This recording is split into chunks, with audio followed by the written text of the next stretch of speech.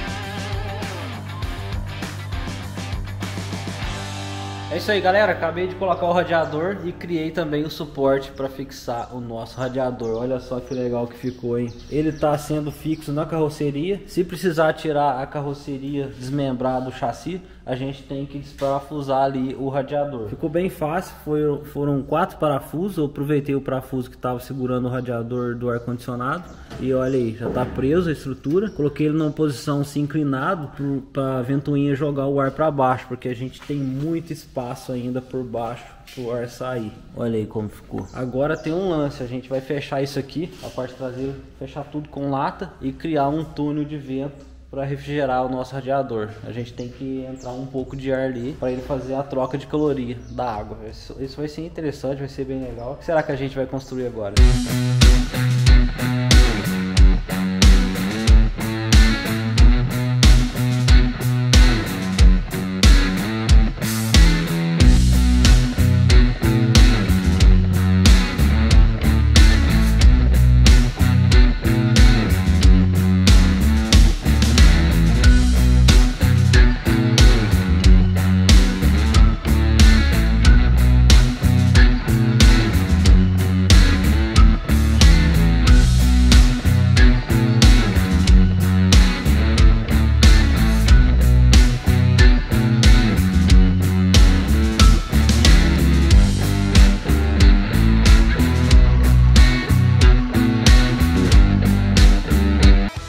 Pessoal. Tive uma mudança de planos aqui, mas vai dar certo. Olha só, a gente ia fechar aqui o radiador juntamente com o motor, refazer essa parte aqui do cofre, né? Fechar tudo. Até cortei a chapa aqui, ó, no, no plasma Evocut aqui da Smart, ó. O pessoal tem dúvida, ela usa ar do compressor, ó. Essa maquininha aqui, ó, Evocut 40. Corta qualquer tipo de metal aí, até de 4 milímetros, corta igual manteiga. Então, a ideia era fechar ali primeiro.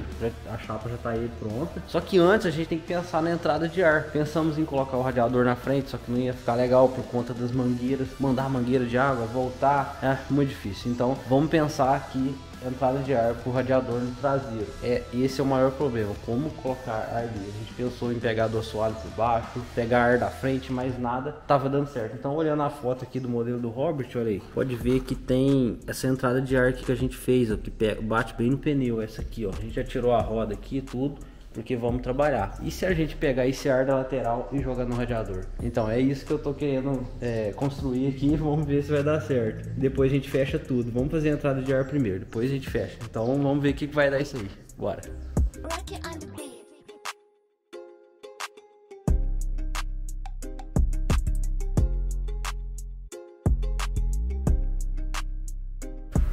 Gente, o que, que é isso? Isso aqui é uma entrada de ar.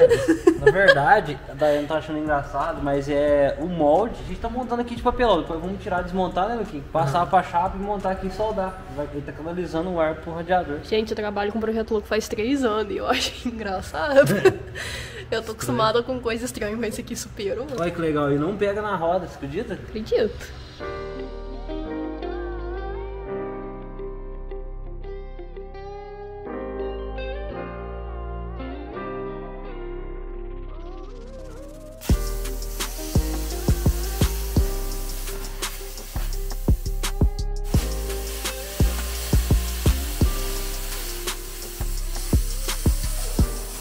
Aí pessoal, o Luquinho não, não usa muito a, a EvoCut 40 e pediu pra testar. É igual uma caneta, né, Luquinho? É, só, que, só que sai vento da ponta dela e vai cortando a chapa. Ele quer testar, vamos ver se ele consegue. E é difícil que é no livro. Você viu que eu usei isso aqui de régua? É. Se você quiser usar esse aqui de guia, ó. Vai no livro mesmo. Vai. Usar esse aqui mesmo? Isso, pode ir, vai.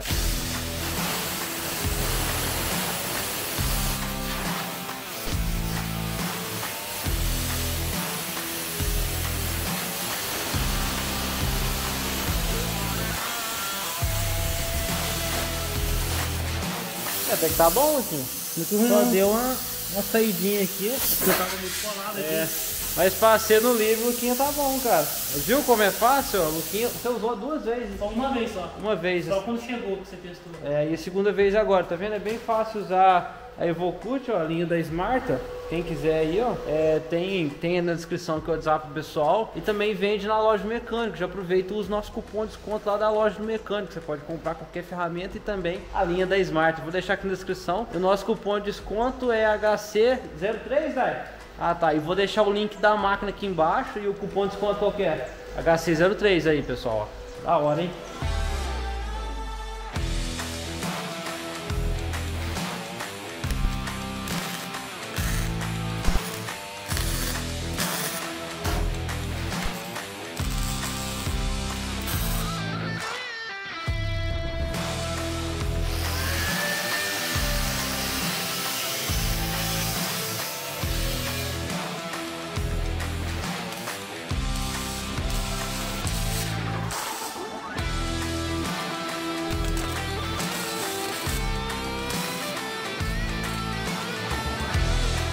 Ué, Luquinho, vai soltar a pipa agora, cara? Vai, vamos? No meio do trampo vai soltar a pipa. Ventando muito lá fora. Fazendo a rabiola aí, ó. Não esquece, né? Você quer explicar pro pessoal o que, que você tá aprontando? Uma ideia é tudo, cara. Ab... Abandonou, pra mim, não? Abandonou a fita crepe, agora tá com fita de, de papagaio, de pipa, de, de creca. Tem outro nome? Vários, né? Papagaio. Chupão. Chupão. Arraia. Peixinho. Peixinho. É isso aí, pessoal. Brincadeiras à parte. Agora, isso aí que o tio Luquinho tá fazendo, a gente quer ver o caminho do vento, se vai dar certo. O que, que a gente fez? Soldou ali a parte de baixo. A gente vai colar aquelas fitinhas ali, ó, que o Luquinha tá, tá picando ali. Vamos pôr as rabiolas aqui para ver o sentido do vento. É isso aí, não vai ser dessa vez que a gente vai soltar a pipa, Luquinha.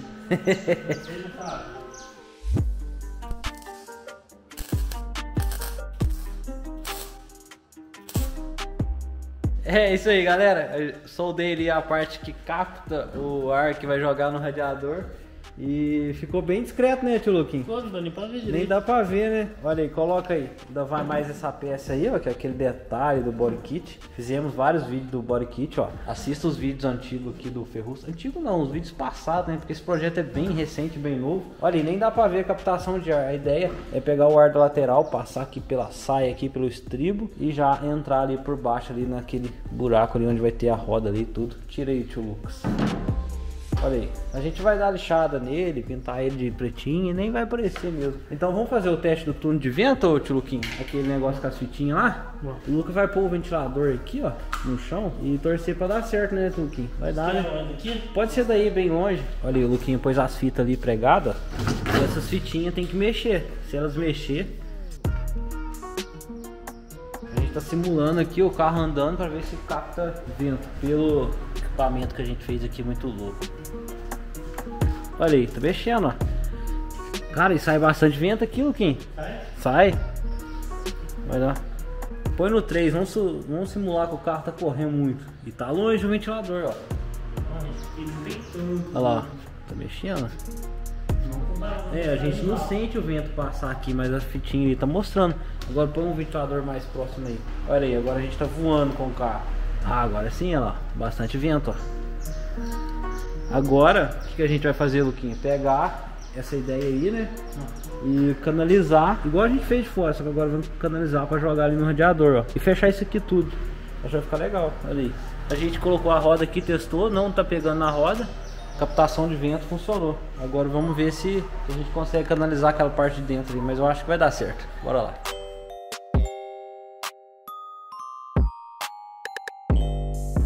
Tá rindo aí? Tem como. Deu certo? Funcionou? Funcionou, né, gente? Comenta aí o que vocês acharam. Olha, é o que tinha pra hoje O daí. Luca fez uma cortininha aqui. Não, mas funcionou, deu tudo certo. Tudo bem, mas tá engraçado. Hum, Nada a ver, o Luquinha é o cara das ideias. né? Ideia é tua, né? Não, eu não assumo esse BO. Seja ideia boa ou ruim, né? Não, mas deu certo, deu tudo certinho. Não, esse aqui ficou top. Eu achei engraçado só a demonstração dele. Não, tem que demonstrar, porque a gente não enxerga o vento.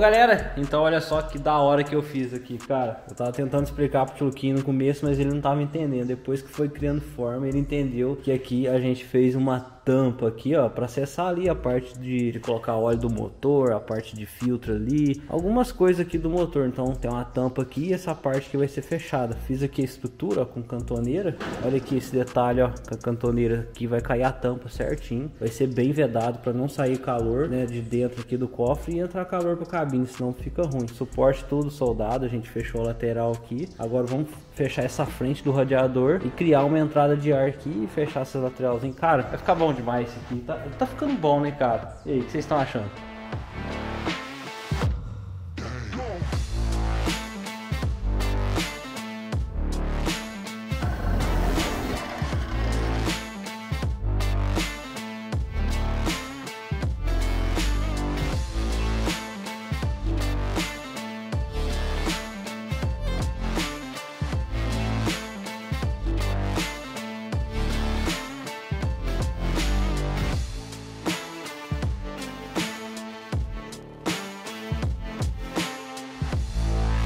É isso aí, pessoal. Cara, ficou melhor do que eu imaginava. Aí. Fizemos o fechamento do motor ali, coloquei a tampa ali em cima, fiz toda a solda por cima. Em alguns lugares só puxei cordão, tipo aqui, aqui e aqui. Não precisa puxar um cordão inteiro, porque é, gasta energia à toa e também fragiliza muito a peça quando você puxa um cordão inteiro numa chapa fina. Então eu fiz pontos aqui, ó, ponto aqui, ponto aqui. Não é bem um ponto, são pequenos cordões. Depois a gente vai passar a massa que ela afetar, tirar todo, todo o arzinho que tá saindo do motor ali, todas as brechas, ó. Ficou legal. Fiz a tampa aqui, como eu falei, para acessar. Vai ter uma borracha aqui para não sair ar quente. E esses dois furinhos aqui desse lado e de lá é para colocar a chave ali e tirar o radiador. Tudo bem pensado, né, cara? Agora é o maior mistério, hein? Esses dois buracos aqui atrás. Como que a gente vai fazer para pegar esse ar de fora aqui, ó, que tá entrando e jogar lá no radiador? É isso aí, vamos construir isso agora. O tio Luquinho fez um molde de papelão, né, tio? Isso, É, o cara é fita e papelão é com ele.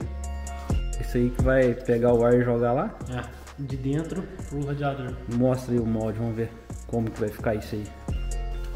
Ah, entendi. Ele encaixa no buraco e vai jogar ali.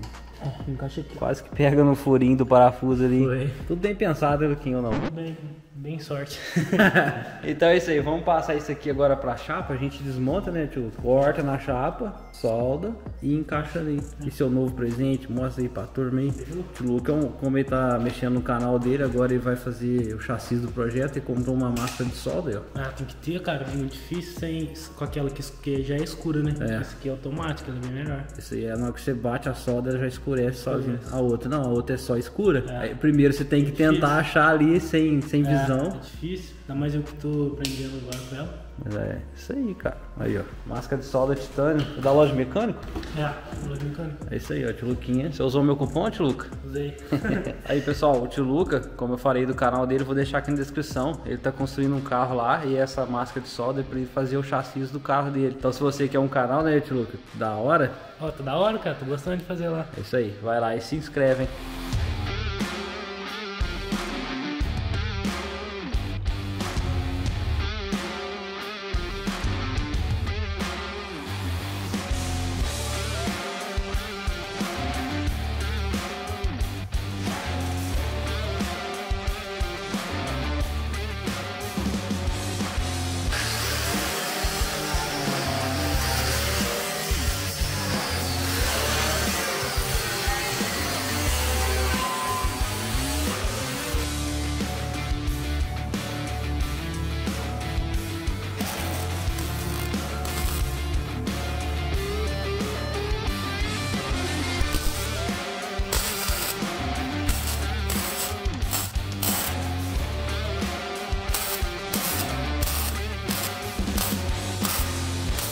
É isso aí, pessoal. A gente fez ali a canalização do vento pro radiador. Ficou muito bom, cara. Ficou bom demais. Olha aí, tá pré-soldado ainda vai mais solda ainda. Tem muito lugarzinho para soldar, tem lugar demais. Mas o legal é que a Daine deu uma ideia que pode melhorar mais ainda o fluxo de ar pro radiador. Ela deu a ideia de interligar esses dois dutos aqui, ó. Fazer uma. Tirar essa parede do meio aqui, ó. Porque tá pegando só nas duas pontas do radiador. A gente tirando essa parede do meio, interligando aqui, isolando tudo, a gente consegue mandar o ar direto no radiador inteiro. É uma ideia boa e vamos colocar em prática agora.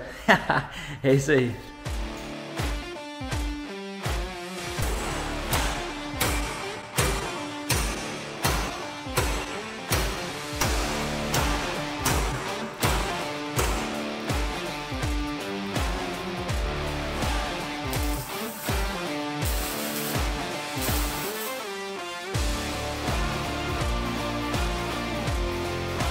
Não parece aqueles negócios de pegar alga viva? O desenho? Não parece, pessoal? O Bob Esponja lá, algas vivas?